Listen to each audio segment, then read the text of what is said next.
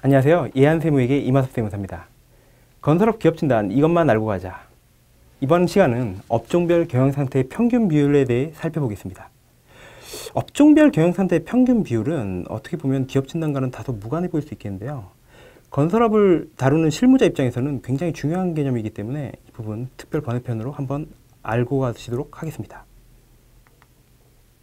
업종별 경영 상태 평균 비율이 왜 중요하냐라면 건설업은 공사 수주를 위해 입찰을 해야 하는데요. 이 업종별 경영 상태 평균 비율이 입찰이 가능한 평, 판단하는 잣대가 됩니다. 따라서 이 업종별 경영 상태 평균 비율을 맞추는 것이 굉장히 중요하겠고요. 그 중에서도 부채 비율과 유동 비율이 중요합니다.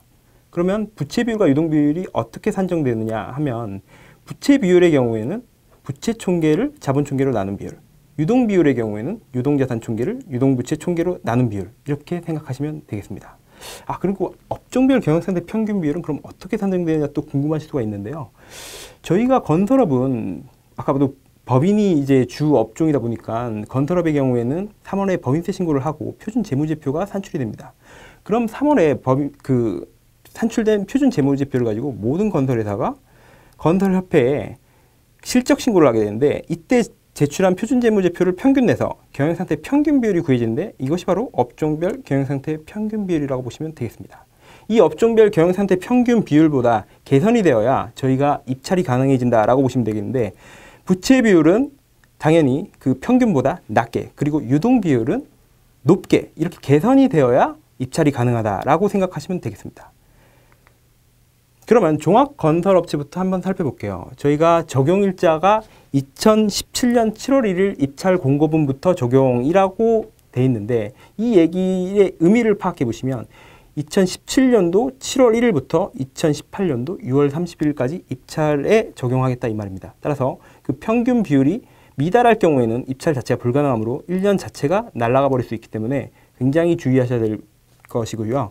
지금 보시면은 부채 비율 보시면은 117%고 유동 비율의 경우 142%가 됩니다. 따라서 종합 건설업체의 경우 부채 비율은 117%보다 낮게 그리고 유동 비율은 142%보다 높게 설정되어야 즉 개선되어야 입찰이 가능해진다고 보시면 되겠습니다. 다음으로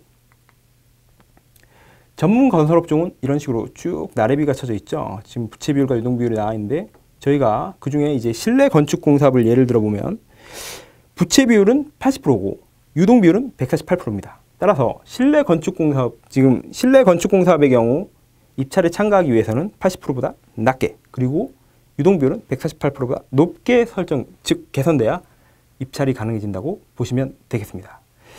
따라서 저희가 종합해 보면 실무자 입장에서는 본인이 관리하는 건설 업체를 전부 컨트롤 해줄 수 있어야 합니다. 즉 결산, 실질자본금, 경영상태 평균 비율 이렇게 세 가지를 전부 다 아우를 수 있어야 되는데 아까 생각해 보시면 실질자본금이 미달되면 어떻게 되나요? 영업 정지를 당할 수도 있고 최악의 경우 등록 말소까지 당할 수 있는 사항을 아까 말씀드렸던 적이 있으시죠? 그리고 경상태 평균 비율이 미달될 경우에는 저희가 입찰 자체가 불가능해져서 1년이 날아갈 수 있다. 따라서 이 실질자본금 경상태 평균 비율 이거를 다 맞추기 위해서는 사전에 미리 사전에 결산 단계부터 확실히 해나가셔야 저희가 모든 것을 건설업체 중에 건설업체의 모든 것을 아우를 수 있다라고 생각하시면 될 것 같고요.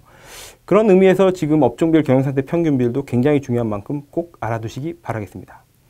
이상으로 업종별 경영상태 평균 비율에 대해 살펴보겠습니다. 지금까지 5분 특강 이마섭 세무사였습니다. 감사합니다.